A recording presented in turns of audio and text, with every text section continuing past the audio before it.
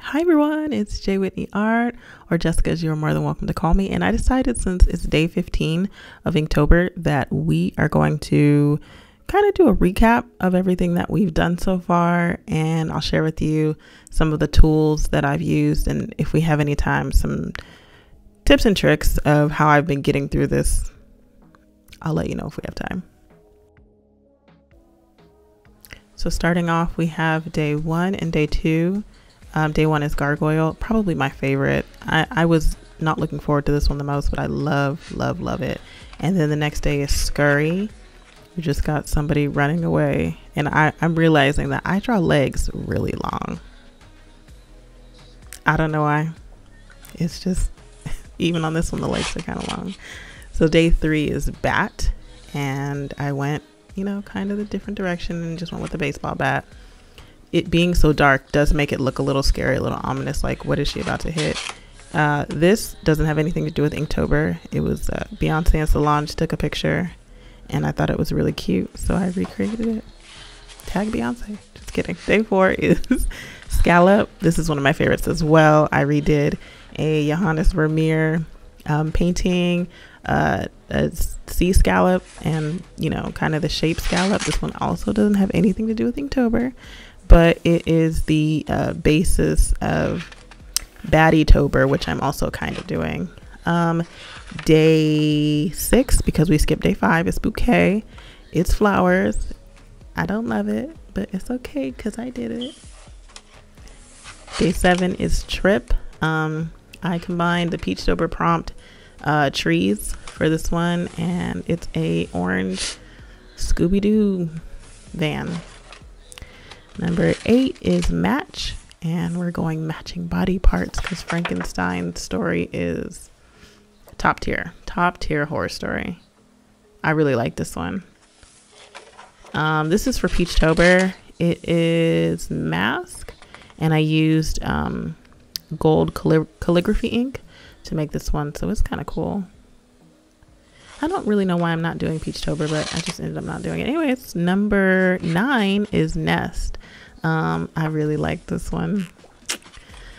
I'm going to keep saying that. I like these. I'm liking how this is turning out. I'm enjoying this quite a bit. Um, this one is Crabby, day 10. Um, another favorite.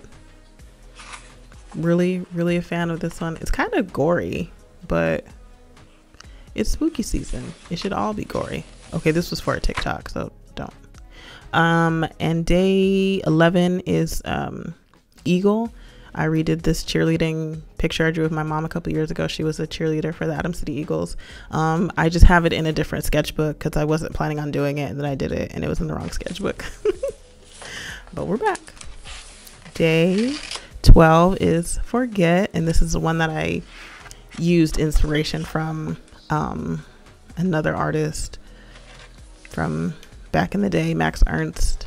I should probably have figured out what the name of the painting was, but I didn't. This one is Day 13, which is Kind. I like this one. I really do. I really do. Uh, this is the one that I'd already drawn, so I did a whole thing about tracing it and moving it over. This one is Empty, Day 14, which we posted yesterday.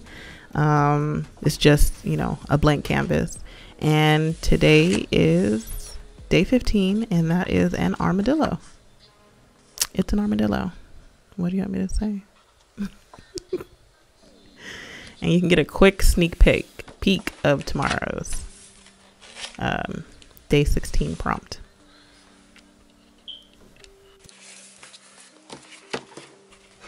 Okay, so here we have the supplies that I'm actually using. I made a whole big post about what I thought I was going to use, and then this is what I have actually been using. There are a little bit of things that are different, like some of the color pencils aren't going to be the same, and um, I did use another color for a couple of the prompts, but for the most part, this is it. This is my um, preliminary sketches that I completed in September that have been very useful for this month because I haven't had to come up with too many prompts. Um, to to find concepts. I've already sketched them out for the most part. I'm using um, a Bristol um, sketchbook. This is acrylic ink. um, pretty much 99% is all black, all black everything. And I already need to replace uh, that bottle because it is less than half, surprisingly. So I'm using a round brush. Um, I think it says size four, but it's super versatile because I can get really thin lines and I can get not really thick line, but thicker lines. You know, I can do a wash on a whole area and not have to use a bunch of different brushes. This is my dip pen. I don't think it has a brand name. I got it from, hmm, I don't remember where I got it from, but it came with a bunch of different nibs. I tried some of the other nibs, not really working for, you know, like my style. This one you can get thick and thin lines ish. I think this is a 003. Um, I think it's like a comic, comic book nib. Either way, this is an erasable color pencil. I think the color is carmine. Um, but that's what the initial sketches used. And then I kind of erase it down and then I use this one. I'm sticking with kind of like red tones for my under sketch before I do the inking. This one is magenta. And I think these are, these have to be wax based colored pencils. They're really good with the water. Um, and then I sometimes, um, not not super often, but sometimes I do use this white uh, ballpoint um, pen for like adding highlights or like fixing mistakes. If I do, you know, if I go outside of the lines, if I spill ink or something, super handy. Oh, I also use another one that's a, a paint marker. I didn't show it, but I use this in a paint marker rarely, but you know, it is a part of, you know, what I'm using every day. So these are more like tools for painting that I use. I have these two small jars that I keep water in. Sometimes I use one for um, like cleaning, the other one for like clean water that I use for, you know, watering down the ink.